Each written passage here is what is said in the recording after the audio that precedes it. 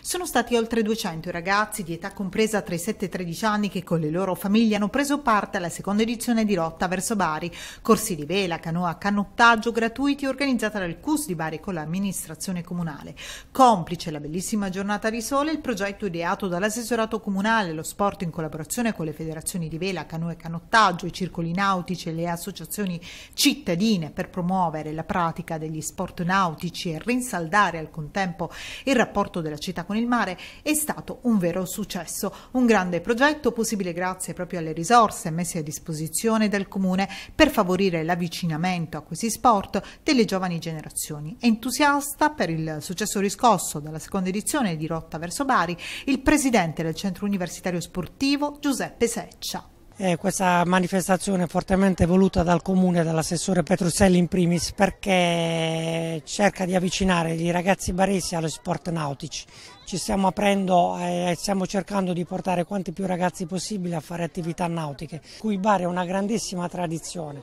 Non dobbiamo dimenticare che l'anno scorso Domenico Montrone, un ragazzo barese formatosi al CUS, ha vinto la medaglia di bronzo alle Olimpiadi in quattro senza eh, ma Domenico è solo l'ultimo esempio di, dei ragazzi che da Bari sono, sono, eh, sono, andati alle Olimpiadi negli sport nautici, ricordo Cannone, Mauro Giovanni, Del Core, Panzarino. Sono tutti ragazzi che si sono formati, si sono avvicinati agli sport nautici e sono riusciti a, a portare alto il nome di Bari a livello